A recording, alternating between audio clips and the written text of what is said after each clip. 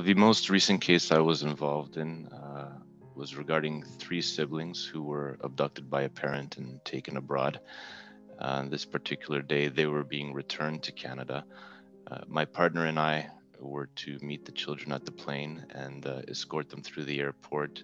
Our primary goal was to create a rapport with them uh, so that they feel comfortable and safe and know that we're there for them. It gave me a great sense of pride in what we do, that the feeling of satisfaction you feel when you witness the moment that a parent is reunited with their children is hard to beat. Essentially, you're there for one of the most intimate, profound moments in someone's life, and uh, in this case, it had a happy ending.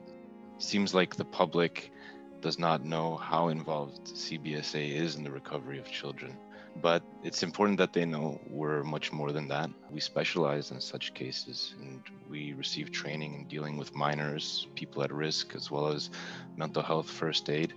So the public should know that if they are someone they know is in such a position that we can be approached to provide assistance for them.